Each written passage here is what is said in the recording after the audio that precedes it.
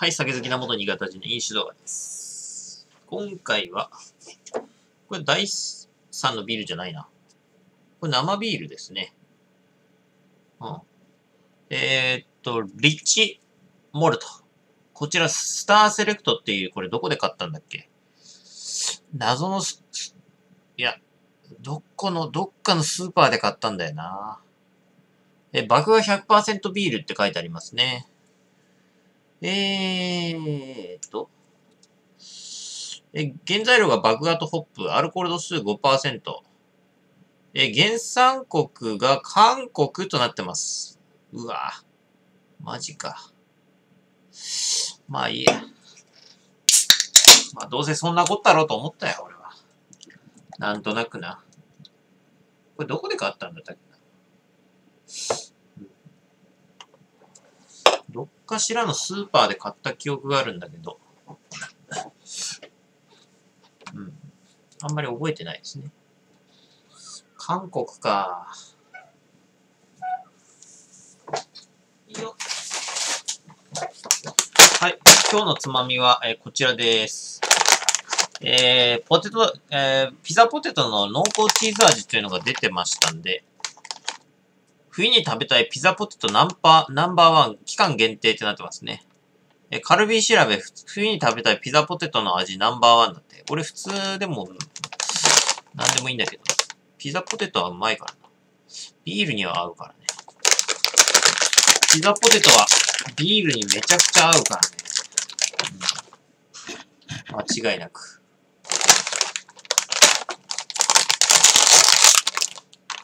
あ、あー、これいい匂い。俺チーズ大好きなの。カンピ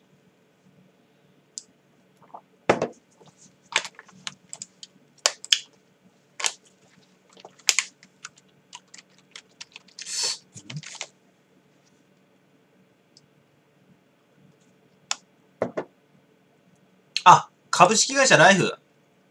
ライフっていう、あの、ススーパーで買いました。これね。そうそうそう。結構ね、ライフはね、あの、酒結構っていうか、かなり取り扱い豊富なんですよね。まあ、俺の言っているところがそうなのかもしれないですけど、めちゃくちゃリキュールの種類とか豊富で、すっげえんですよ。下手なね、あの、うん、あの、酒屋よがね、置いてるんだよね。本当に。でね、しかもね、あの、すごいのが、この、ライフのプライベートブランドで、あのがね、すごいんですよ。うん。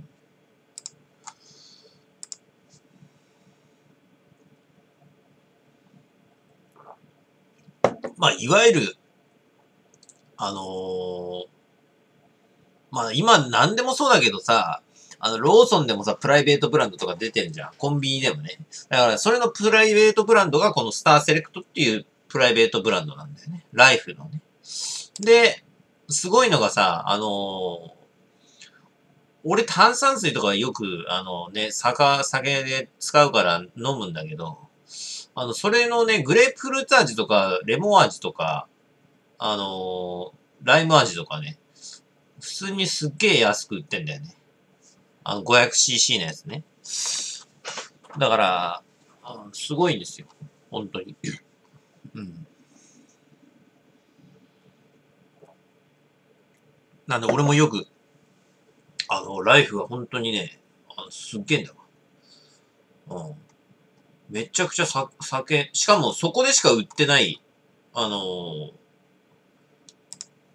宝酒造のさ、特に焼酎とか、宝の焼酎すっげえ置いてんだよな、あそこな。うん最近見たのが、あの、宝焼酎の、あの、レジェンドってやつの、あの、1.8リットルの紙パックのやつで出てましたね。うん。あと、純の紙パックもね、出てまして、ええ。あ、最近、あ、これ発売したんだ、みたいな。宝酒造のね、あれなんだよね。出たんだって感じするよね。本当に、ライフは本当に、あの、酒に関しては、特に宝酒造はね、俺、はね、あの、こんなの普通のスーパーじゃ絶対売ってないっていうのはね、普通に売ってるからね。マジで。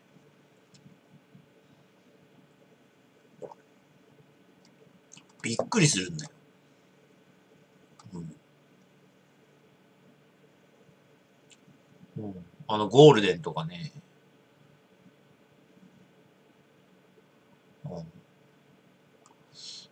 本当に、あの、宝モダンとかもあそこで買ったし、うん。えっ、ー、と、日本っていうやつも買ったし、あとレモンサワー用の宝焼酎のやつ。もうね、あそこしかほぼ売ってないですよね。他のスーパーどころか、あの、酒屋にも売ってないんですよ。うん。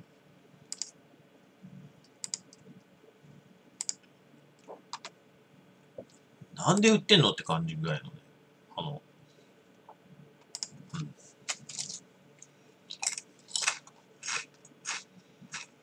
ん。だからレジェンドって、あの、うん。あ、新発売したみたいです。皆さん、焼酎マニアの人間いたら、あれですけど。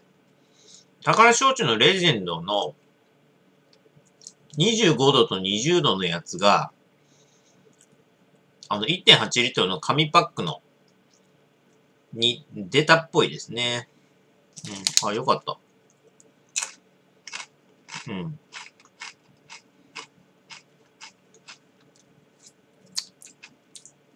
今まで、あの、ペットボトルのやつしかなかったからね。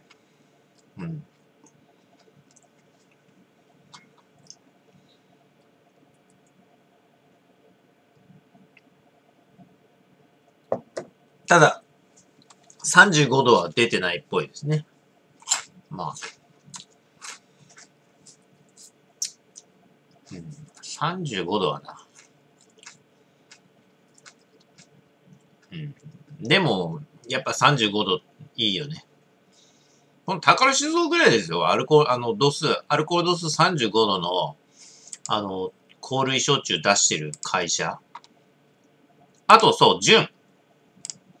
あの、純っていうあの、宝焼酎ある、あるんですけど、それもね、あのー、あれしましたからね。紙パック出ましたからね。うん。紙パック最近新発売した。うん。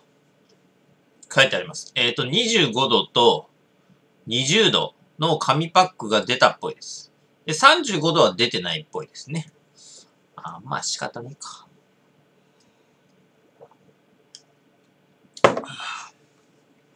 でも、純の35度は、アルコール度数35度の香類焼酎って、まあ、なかなかないじゃない。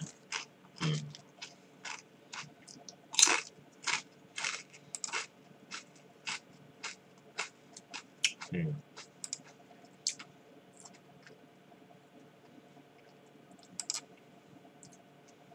まあ、個人的には、あの、レジェンドと非常に味が似てるゴールデンが好きで、うん。ただこのゴールデンっていう宝焼酎のやつはね、ほとんど売ってないんですよね、どこにも。うん。ただそのライフにはね、売ってるんだよね。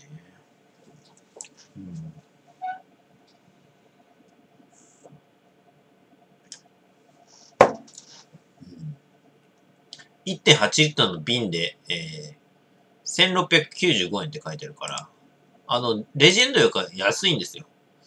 うん。結局ね。うん。若干安いんだ。うん。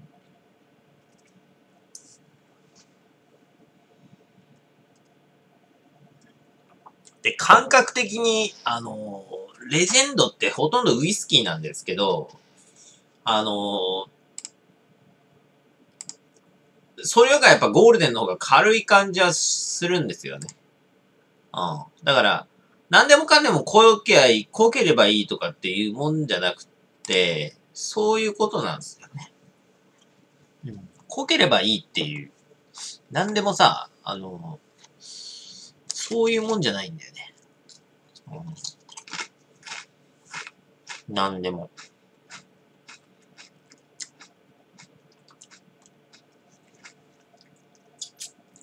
うん。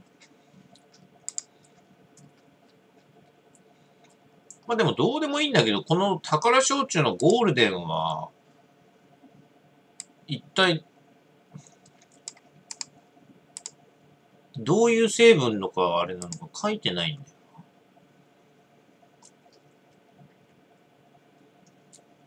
わからん。あ、書いてある。えっ、ー、とね、当社独自の蒸留、ブレンド技術によって実現した甘い香りと絶妙なコクのある味わいは、煮込みやハムカツ、お刺身といった定番メニューに相性はぴったりですって書いてある。そんぐらいしか書いてないですね。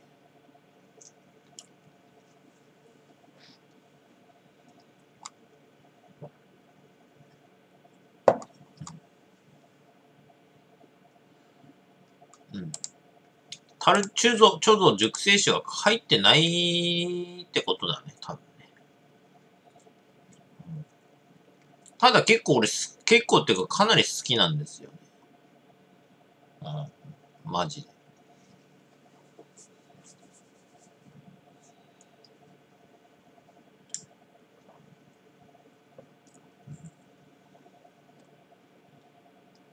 ていうね。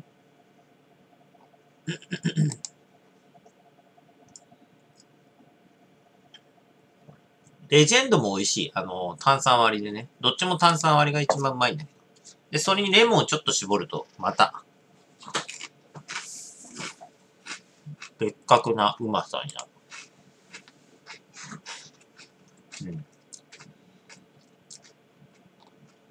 うん。恐ろしいほどのうまさになるんだな高橋翔ちゃんの、あの、レモンサワー用って書いてあるやつの、まあ、あんまり俺どうでもいいんだよ、これ。これ大して、どうでもいいんだよな。あレモンサワー用とかなんか書いてあるんだけど、ぶっちゃけどうでもいいんだよ。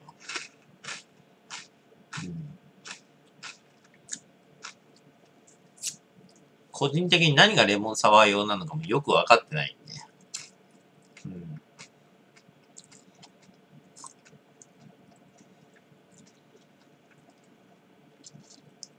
個人的にやっぱりレモン、レモンサワーってなると、こういう宝焼酎のレモンサワー用っての出てるけど、こんなのはどうでもいいんですよ。ぶっちゃけゴールデン、宝のゴールデンかレジェンドで、で、炭酸割り、あの、ハイボール作って、そこに、まあ、まあ、レモンサワーなりに普通に、それで作れば、それでレモンサワー作るのが一番好きなんですよ。うん。本当に。そうすると、あの、あれができ、あの味ができるんだよね。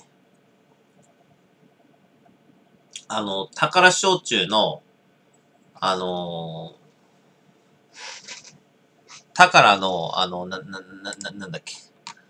あれ、あ、忘れた。あ、焼酎ハイボールとかね。焼酎ハイボールのレモンの味とかもできるんですよ。結構似た感じに。うん。多分一番近いのが、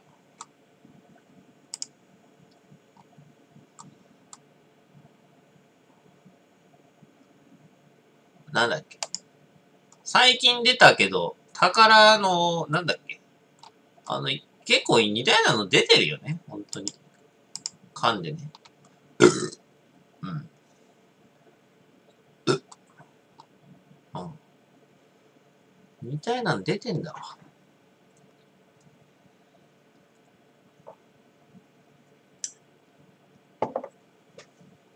本当にどうでもいいんだけど、マジで。ああ。うまいの出てんだわ、本当に。宝酒造は本当に。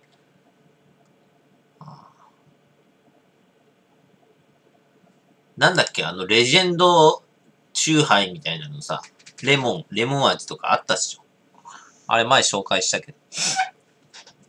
あんな感じのができるんだよね。まあ、そその通りなんだけどさ。だって、だって結局レジェンドで作ってるんだから。で、レモン作、レモンつけて、レモンっていうか、レモン絞ってんだから当たり前なんだけどさ。うん。それが家庭で作れるっていうのはやっぱいいよね。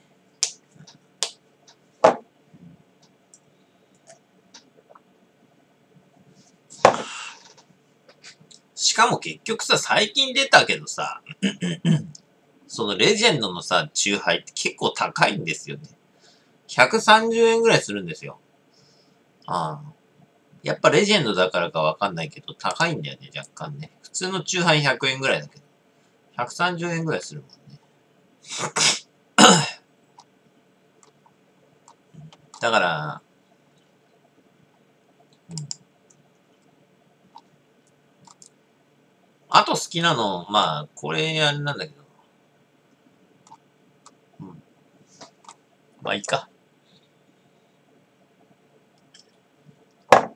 で、この話に戻ると、このリッチモルトは、まあ、値段が確かね、100ね、150円ぐらいだったかな。まあ、150円にしたらそこそこできてるんじゃない？っていう感じだけど。うん。うん、まあ、150円ぐらいだったから、ま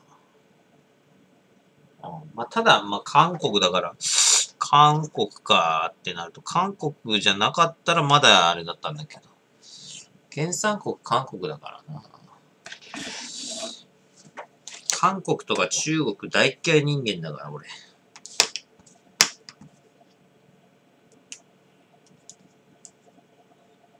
味としてはあの四つ星なんだけど、これは、韓国籍という意味で、あの、三つ星だな、これ。どうしても、どうしてもあれだよね。そこは。うん、なんか微妙な、